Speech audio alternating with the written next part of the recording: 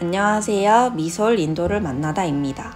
오늘의 주제는 인도 무굴 제국인데요.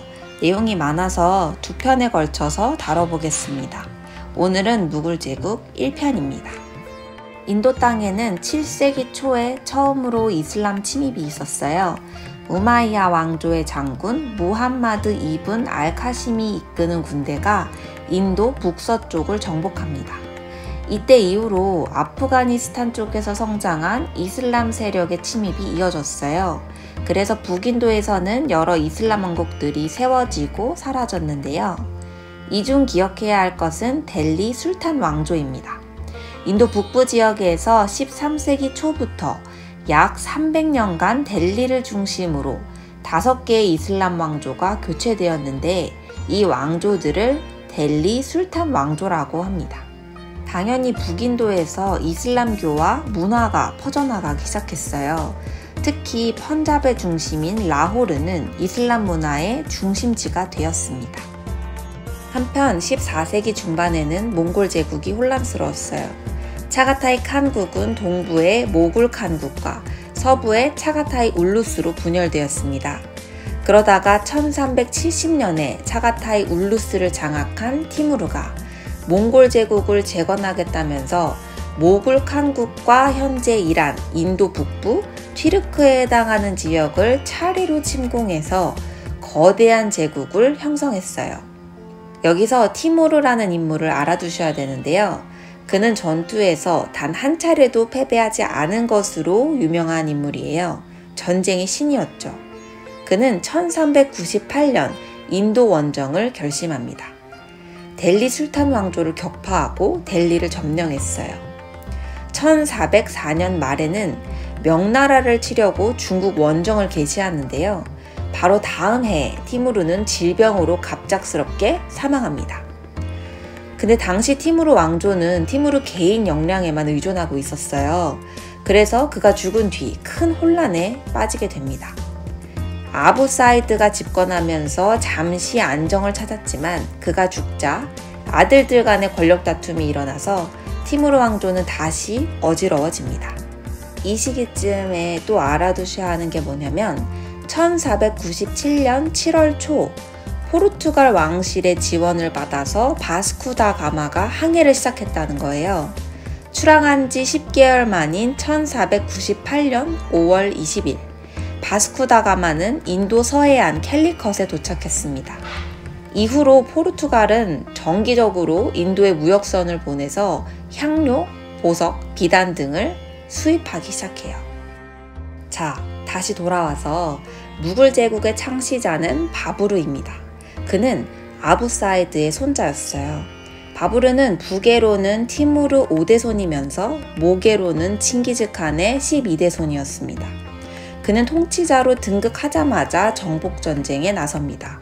특히 티무르 왕조의 수도였던 사마르칸트를 굉장히 정복하고 싶어 했는데 이를 두고 우즈베크 칸국과 싸우다가 잘 안 풀려요.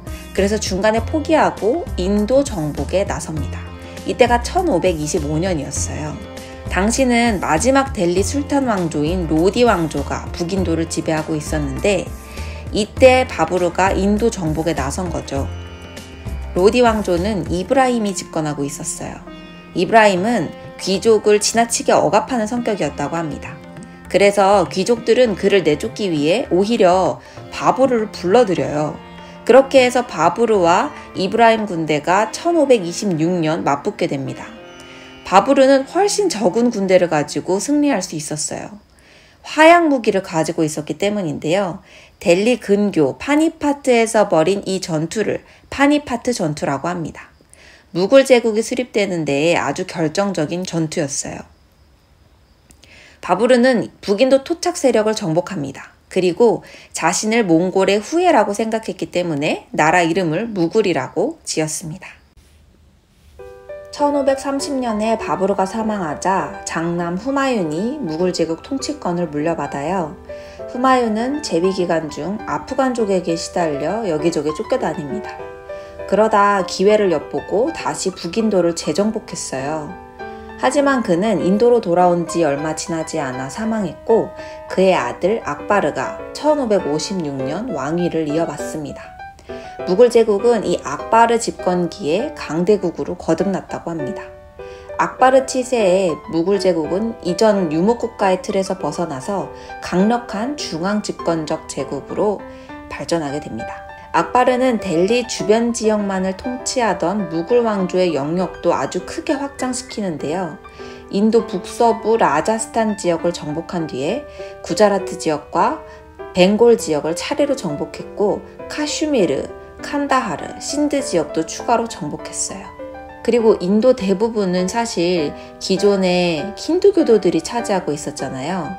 무굴 지배계층이 소수였기 때문에 악바르는 다수인 힌두교도들에 대한 포용 정책을 실시합니다. 정권을 안정시키기 위해 융합 정책을 시행한 건데요. 1564년에는 비무슬림들에게 부과되었던 인두세도 폐지했다고 합니다.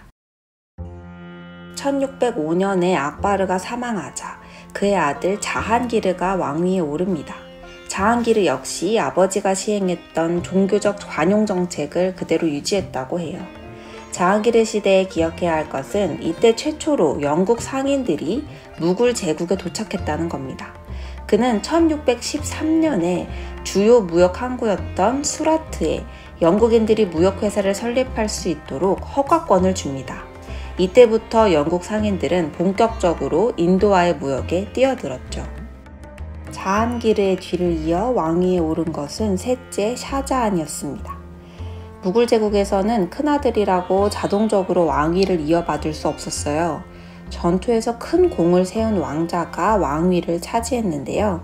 4명의 아들 중 셋째 샤자한이 가장 용맹했기 때문에 1628년 즉위했습니다. 샤자한은 군사적 능력이 뛰어났고 동시에 건축에 탁월한 재능을 보였어요.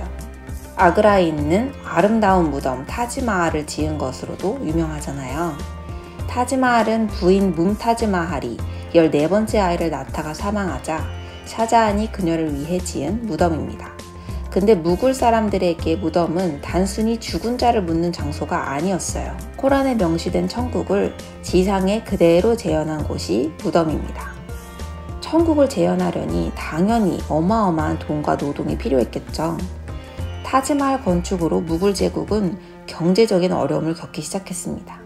샤자한은 데칸을 점령하여 영토를 확장시키고 광적인 건축으로 나라의 재정을 극도로 악화시켰어요. 무거운 세금 징수와 관리들의 부패, 서민들의 고통은 제국의 세태로 이어졌습니다. 그리고 또 하나 알아두셔야 할 것은 샤자한은 지금껏 유지되어 온 종교적 관용 정책을 포기하고 친이슬람 정책으로 방향을 바꿨다는 거예요. 그는 힌두교 사원을 파괴하고 이슬람 율법을 강요하여 종교 갈등을 유발했습니다. 샤자한을 이어 왕위에 오른 것은 셋째 아우랑제부였어요. 샤자한은 첫째 아들이 왕위를 잇길 바랬습니다.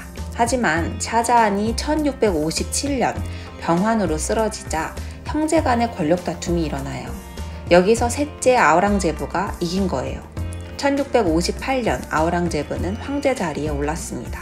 그는 샤자한이 다른 형을 지지했다는 이유로 아버지를 타지마할이 보이는 아그라 성에 가둡니다. 결국 샤자한은 여기서 1666년에 사망합니다. 무굴 제국은 총체적 난국이었어요. 경제 상황도 안 좋았고 무거운 세금 징수에 관리들의 부패도 심각했습니다. 이를 타개할 방책을 아우랑제부는 종교에서 찾았어요. 전통 이슬람을 신봉했던 그는 힌두교 및 다른 종교에 대해 매우 배타적인 입장을 취합니다. 이로 인해 심각한 종교 갈등 상황이 전개되었어요. 힌두교 신자들에게 이슬람 규율뿐 아니라 개종까지를 강요했고 또 많은 힌두교 사원들을 파괴했습니다. 이러한 정책은 당연히 반란을 불러옵니다.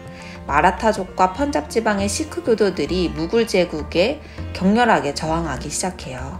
근데 아우랑제부가 취했던 가장 치명적인 조치는 1679년에 인두세를 부활시킨 것이었어요.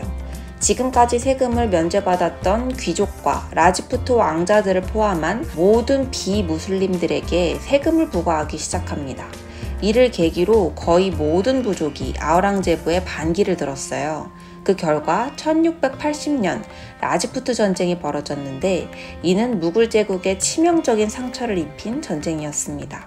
무굴 제국은 계속되는 정복 전쟁으로 경제 상황은 악화되고 내부 분란도 심화돼서 붕괴 위기에 처했어요.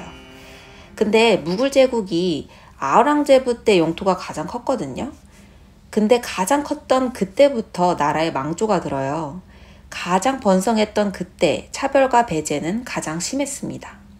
저는 수업에서 선생님이 해주신 말씀이 와닿았는데요. 나 스스로 충만하면 관용과 융합이 일어나는데 이 충만함이 내부에서 나오지 않을 때는 외적으로는 번성한데 내리막을 타게 된다는 말씀이었어요. 그렇게 아우랑제부는 1701년 89살의 나이로 데칸고원에서 사망합니다. 오늘 영상은 여기서 마치겠습니다. 아직 무굴 제국이 다 끝난 게 아니고요. 다음 영상에서 무굴 제국 2편으로 돌아오겠습니다. 그럼 안녕.